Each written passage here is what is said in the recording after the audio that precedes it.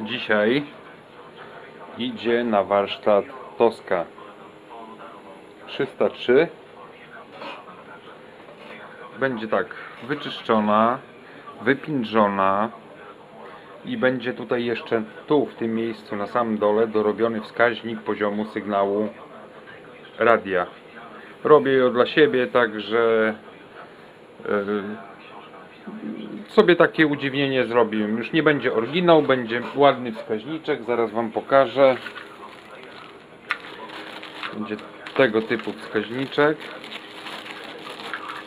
O ile mi on tu wejdzie, jeszcze na razie nie mierzyłem, ale wejdzie. Bez problemu.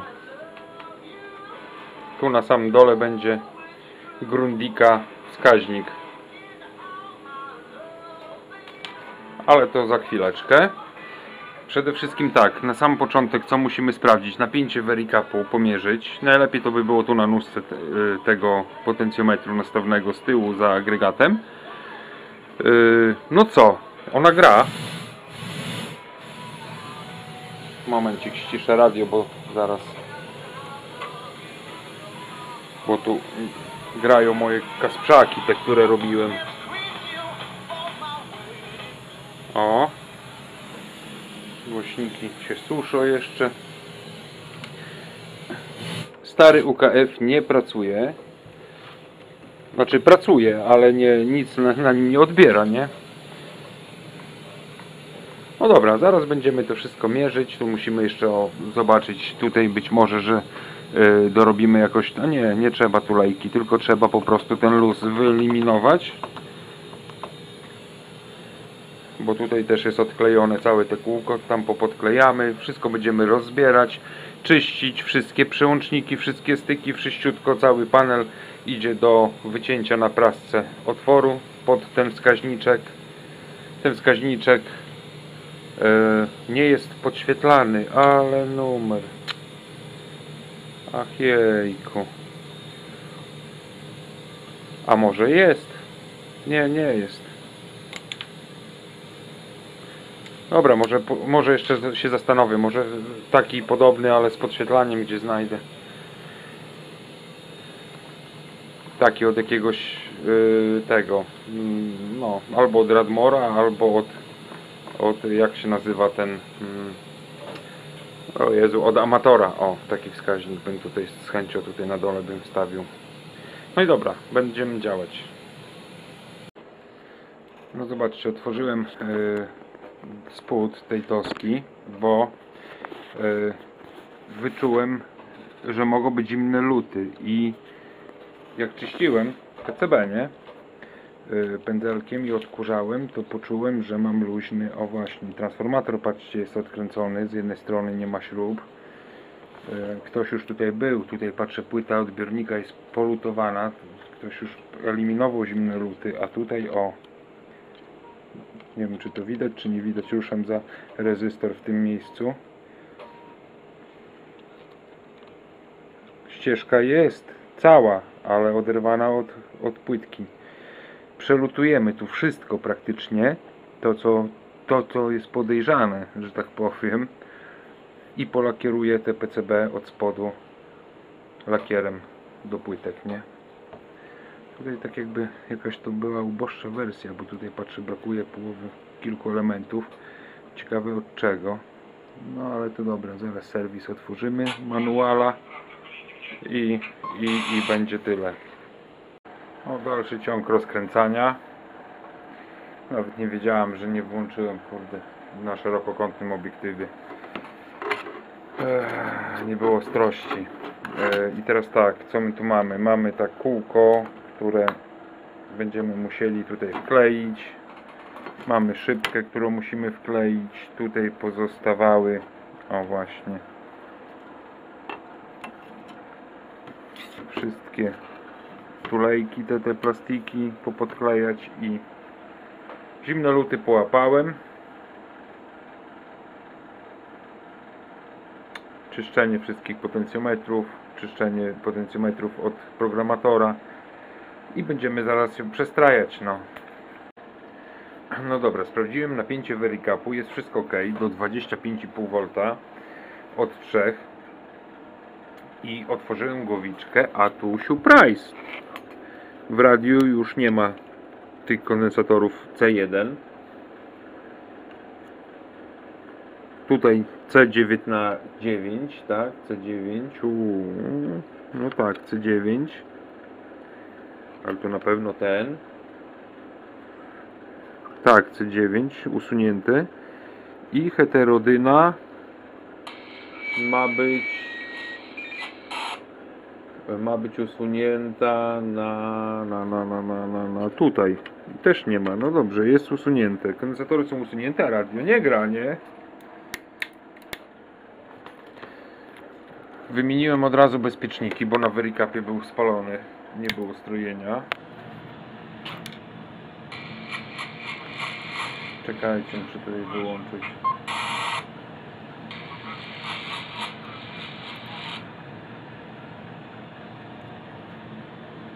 Nic nie słychać.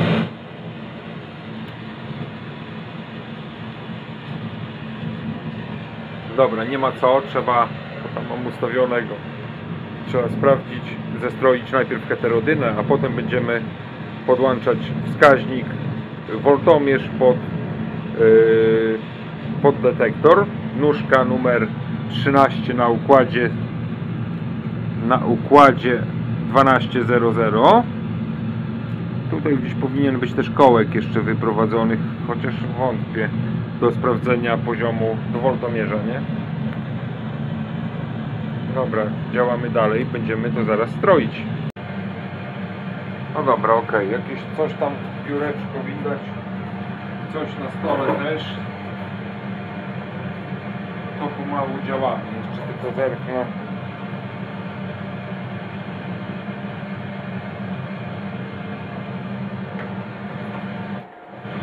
Jakby samolot leciał. O, podziękowali dla wzmacniacza, a jak? Jedna strona. Tak jak myślałem, że coś tu jest na nie halo.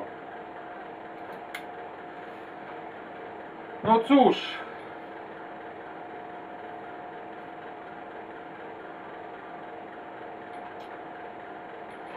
Tam gdzie były te zimne luty, no. Nagrzało i spaliło. Dobra. Ciąg dalszy nastąpi. Najpierw trzeba rozebrać, sprawdzić tranzystory, końcówki mocy, bo coś gdzieś jest uwalony, lewy kanał. Bezpiecznik mi wywaliło w tej chwili. No nic. Takie są uroki starego sprzętu. Toska 303. No prawdopodobnie uratowałem wzmacniacz, bo popłynął prąd. Tylko z tego powodu, że się ten tranzystor miał zimne luty od drugiej strony. I na dzień dobry bezpiecznik uwaliło, ale całe szczęście, że był bezpiecznik i że tylko bezpiecznik, a nie głośnik, ani nie tranzystor, nie? Jeszcze tak patrzę, czy, czy on letni się robi, czy nie. Kompletnie jest zimny, także już nie płynie prąd. Zaraz przemierzymy przy okazji od razu ten, jaki idzie na spoczynkowym prąd. No dobra. Jest trochę nostalgiczne. Radyjko zagrało, zaraz będziemy szukać naszej heterodyny. Jakieś dzwoneczki się pojawiają, ale nie jest ich tak dużo jak na pierwszym. Nie chciałem przesadzić po prostu właśnie z tymi dzwoneczkami, więc tutaj czekaliśmy. Bo- ale jest też trochę Na samym końcu coś tam zatrybiło. pod różnymi przykrywkami. No właśnie, to o tym sobie za chwilę pogadamy. O, mam. Mam heterodynkę, dobra. Ładnie się przestraja, zobaczcie. Musimy ustawić tak, koniec zakresu i mamy mieć 118,7 na końcu zakresu. Zobaczcie, jest nasza heterodynka, o. 118,7 118 e,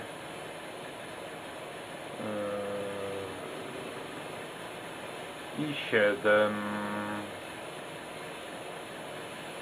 to tutaj na, koło tej naszej kreseczki mamy być, o tutaj o w tym miejscu. 118 i 7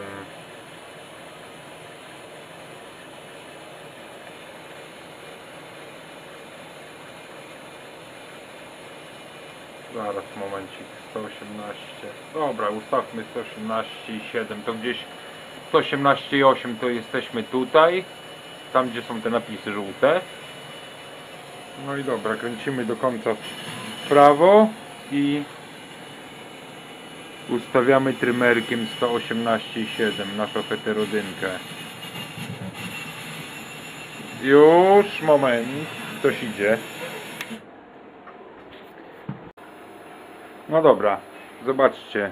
Yy, początek skali yy, 98. O, tu jesteśmy. O, jest początek 98 i 2 98 204 dokładnie lecimy teraz w drugą stronę i teraz tak przerzućmy sobie tutaj odbiornik o 20 MHz 118,2 a mamy mieć 118,7 lecimy, lecimy, lecimy, lecimy, lecimy Teraz zobaczymy, czy do końca do, dojdzie. Nie ma. Czyli musimy jeszcze trymerkiem tutaj dostroić naszą heterodynkę. O, ale już prawie, już, już, już.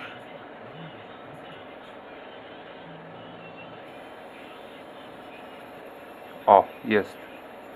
118 i, i 7. 118, czyli gdzieś w tym 118,8 w tym miejscu.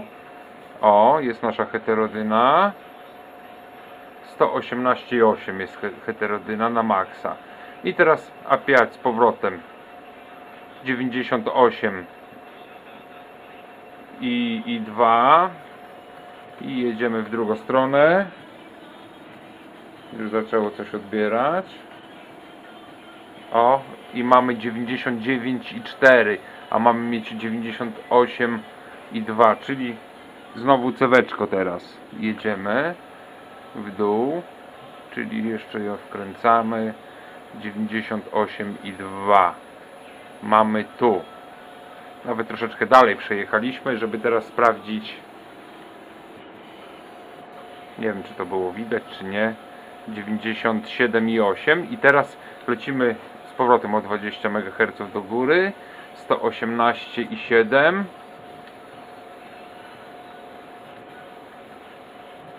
i w drugą stronę kręcimy skalą do końca. No i gdzie jesteśmy? Nie ma. Jesteśmy nie ma na 117 pewnie gdzieś. No. Tak. Jesteśmy 117 116 i coś, czyli znowu trymerkiem do 118,2 dociągamy. I tak do 118 i 7 mam. Tak, 118,7 dociągamy, czyli mamy 118 i, i 8. I teraz lecimy w drugą stronę.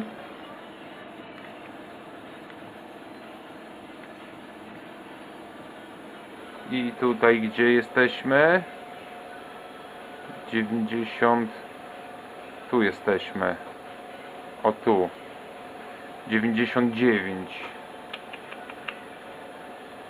99 już jesteśmy coraz to bliżej tej 98,2 czyli jeszcze wkręćmy 90 tutaj wkręcamy i 98 i, i 2 mamy mieć, czyli przy, musimy przejechać dalej. I jesteśmy w tej chwili na 97 97 i 76 Mm, no dobra, to teraz jedziemy w drugą stronę. Trzeba tyle razy powtarzać, aż zrobimy zakres od 98,2 do 118,7, czyli dziewi- czyli 87,5 na do 108, nie? Czekajcie, czekajcie moment. 118 i 7. Jedziemy w drugą stronę. Może już zaraz się zgodzi. Nie. Jeszcze się nie zgodziło. Gdzie jesteśmy? Jeszcze nie ma nas tutaj. Na skali, czyli trymerek.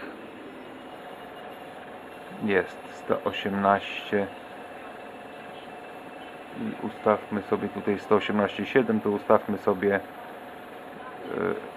119 i 1 119 i 1 ale teraz jak cewko znowu skorygujemy to znowu to znowu zaraz zobaczymy gdzie jesteśmy. O jesteśmy tutaj. 198 i, i 7 98 i 7 jeszcze pół MHz musimy wyskubać z niej z tej cewki. O 100 y, pół MHz czyli tam musi tam zjedzie nam na 118 pół MHz przesuniemy czyli mamy teraz 98 i ustawmy równo 98, bo teraz będziemy musieli jeszcze trymerkiem to skorygować. Aha, wybrałem śrubokręt mam metalowy zamiast stroika. Jak wybiorę to mam 97 i 8, a mam mieć 98 i 2. Czyli tak pi razy oko około, o 98 jest równo. No i dobra, kręcimy w drugą stronę.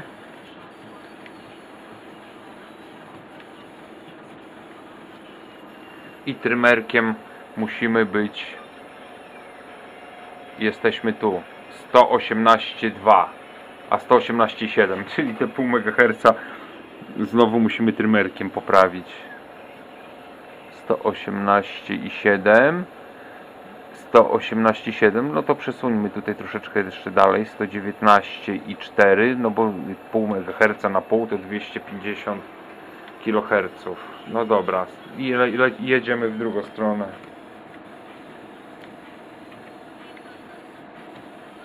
Jedziemy w drugą stronę do końca. I jesteśmy na częstotliwości. Tu jesteśmy. 98,6 kurde jeszcze trochę. 98,6 no to dobra. To jedziemy jeszcze kawałek cewką i 6 od dwóch to mamy 200, 300, 400, 500, 600 czyli tak 300, 400, 500 400 kHz musimy się odsunąć. Mamy mieć tu czyli musimy o 400 100, 200, 300 o, się odstroił. Dobra ok no i teraz jedziemy w drugą stronę.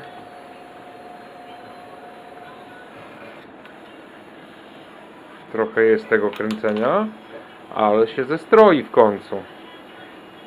I na tym polega zestrojenie. Można w sumie użyć jakiejś tam stacji, nie? Jeśli ten odbiornik był, miałby już jakąś czułość. 118 117,6 kurde, co mu jest? 118,6 i teraz trymerkiem musimy dociągnąć 118,7 118, czyli tutaj. Stąd tutaj musimy dociągnąć trymerkiem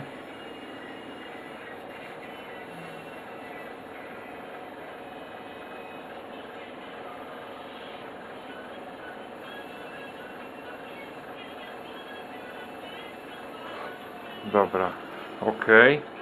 Jedziemy dalej. Na początek skali. I gdzie jesteśmy? Tu jesteśmy. Jest. 98, 298, dokładnie 156. Jest, jest. I teraz w drugą stronę przejedźmy jeszcze, sprawdźmy czy jesteśmy, czy ten zakres 118,7 naszej heterodyny do też mi, miniemy. 118 118,7 zaraz zobaczmy gdzie jesteśmy. Tu jesteśmy. 118,7 jest tu. Czyli minęliśmy pełen zakres 108 i jeszcze tam 300 kHz czyli jest elegancko. Jest troszeczkę mniej niż 87 od 87,3 będzie odbierać do 108,3 gdzieś będzie odbierać. No dobra, heterodyna mamy z bani. Teraz czułość została a czułość to musimy się podpiąć pod tą kontrolkę pod tą zieloną diutkę yy, woltomierzem. Zwykłym woltomierzem lub możemy nawet sobie podstawić mierniczek 1,5 yy, do 2 V no w sumie mierniczek taki do 3 V i tu my musimy mieć na tej 1,8 V wtedy dopiero stereo łapnie tylko musimy teraz znaleźć jako stację albo opuścić sygnał z generatora, nie? O, znaleźliśmy jako stację. e, inwestują w mieszkania. I działamy. No, to, Zaraz podłączam woltomierz fakt, i ciąg dalszy nastąpi. No i zobaczcie co wykryłem. Żeby ją dobrze zestroić musimy wymienić tutaj ten stary tranzystor na BF199 i ten tranzystor też się nie pokuszę i też go zmienię na BF199. Heterodyna zostaje, bo heterodyna już fajnie pracuje. Wszystko jest ok, ale sygnał prosto z anteny, tu mam na krokodylku.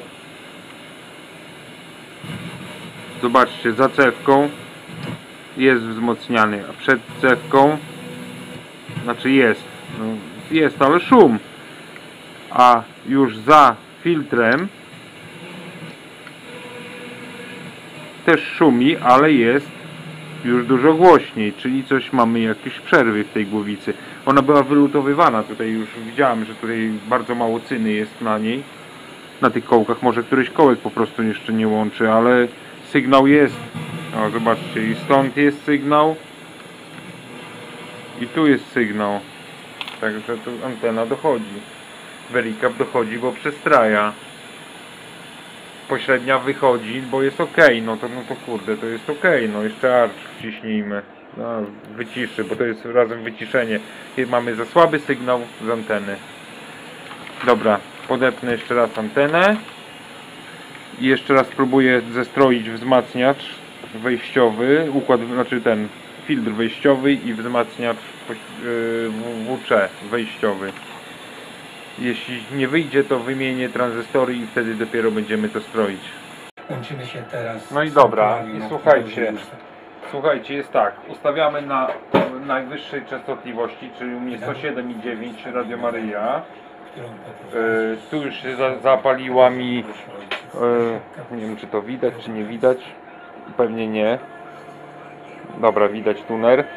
Już się zapaliła mi diodka e, od sygnału. Po wymianie tranzystora na wzmacniaczu wejściowym mamy dwa jak się dostroimy dobrze mamy dwa 2,5 2,51 V ustawiłem też pośrednią a pośrednią wybadałem też tak samo jak tutaj. Tu mam dokładnie sto- 118,6 i tak ma być. Yy, heterodyna ustawiona 10,7 ma- odejmujemy do pośredniej. Jeśli tu nam się stroi wskaźnik ten, ten tu stroi normalnie wskaźnik i jesteśmy na 118,6 czyli mamy, odbieramy idealnie 107,9 o właśnie, troszkę trącę i się przesuwa mi tam Y, 107,9 Ma- no i dobra, odbieramy sprawdzamy sygnał podłączamy się pod woltomierzem pod diodkę od sygnału. Dobra, dostroiłem. I teraz trymerami próbujemy ustawić jak największe wzmocnienie. 2 na voltomierz teraz, 2, 46, 47, już spada, dobra. 2,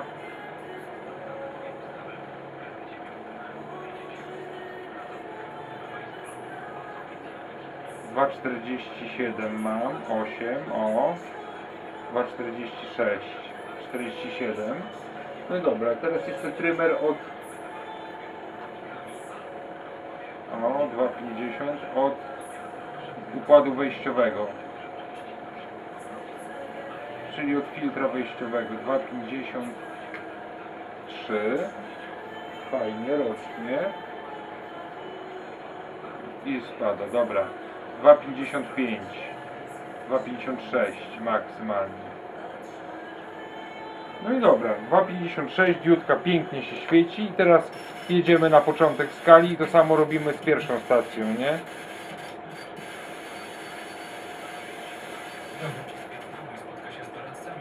Nie, jeszcze dalej. O, mamy pierwszą stację teraz sprawdzamy napięcie jakie mamy. Tu pewnie będzie większe, no 2,70. No I teraz układem wyjściowym.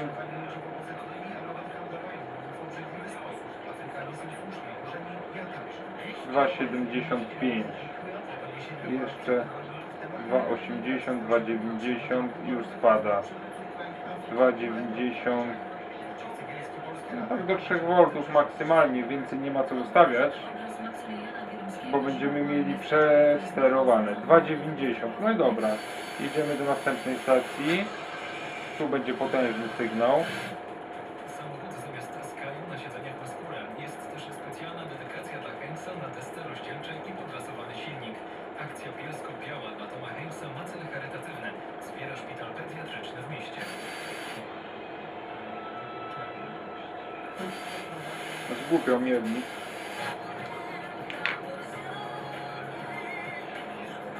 Czekajcie, coś tu nie łączy chyba.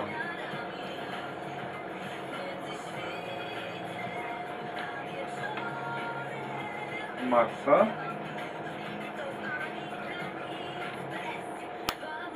Jeszcze raz go odpalimy.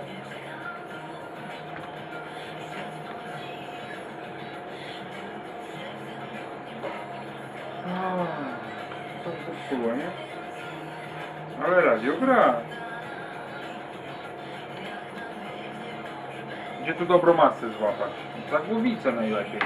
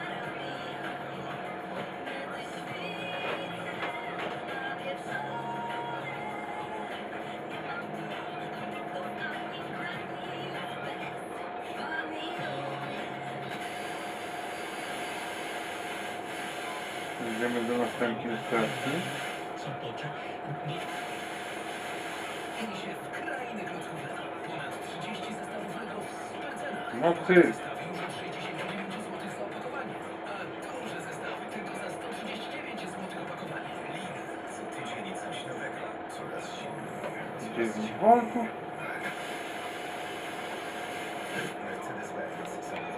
Zaraz się podepniemy. Się podepniemy tutaj przewodem, bo i tak będę wyprowadzał przewody pod wskaźnik, nie wysterowania. Moment. No panowie, radio jest przestrojone. Jeszcze mam kłopot ze stereo. Yy, bo tylko przy tym, przy stereo czasami, o właśnie, o, migne, mignie i, i, i o właśnie, nie wiem, czy coś tutaj jeszcze nie łączy, chyba coś tutaj nie łączy ale trzeba tak rozgrzać ten wzmacniacz po tej naprawie, bo lewy kanał robiłem. Taki delikatnie letni. Damy czadu, nie?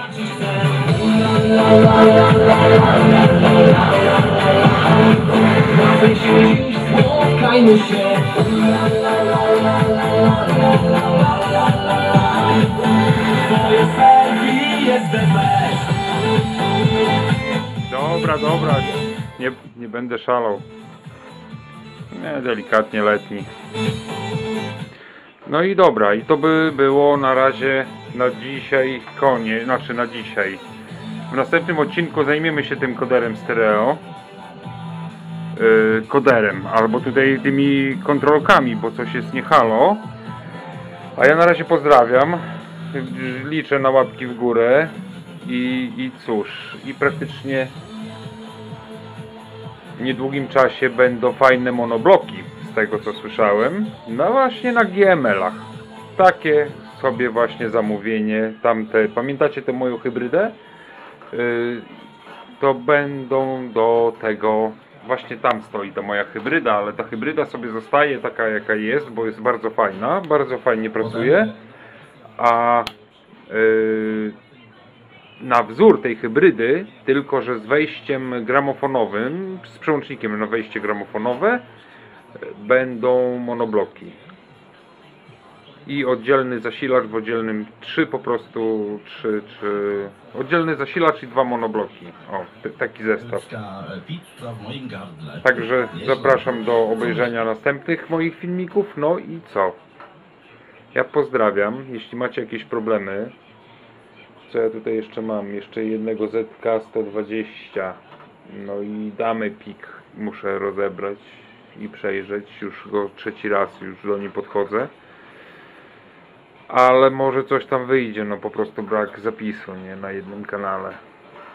Już mniej więcej wpadł mi pomysł, co, co jest nie, nie tak. Trzeba jeszcze to sprawdzić, ale to dobra. Najpierw skończymy ten amplituner. Toskę. Zostało nie jeszcze, co tu jeszcze zostanie? Momencik. Zostanie jeszcze ZK. A, poskładać kasprzaka, bo już obudowa przyszła po czyszczeniu i szuflada dek. I szuflada dek. No i co? A jeszcze, jeszcze oprócz tych monobloków w następnych odcinkach na pewno się szykuje yy, się szykuje wzmacniacz. Jezu, W Polski Diory wzmacniacz, ale już nie pamiętam numeru, bo nie pamiętam symbolu, bo jeszcze go nie mam. Ale to jeszcze zobaczymy jak to będzie, nie? A zobaczcie jak jest stereo. Raz jest, raz nie ma. No i dobra. Toska wraca pomału do żywych. Jeszcze przejrzę fale długie, średnie, krótkie 1, krótkie 2. No i stereo. Stereo koder. Konieczność. No, możemy już odpiąć tą moją antenkę od od SDR-a. Już jest przestrojone. No i to by było na tyle w tym odcinku. Pozdrawiam, już więcej nie ględzę. W następnym odcinku robimy koder stereo w tej tosce. No, ale to już nie dzisiaj, bo już jest późno. Pozdrawiam.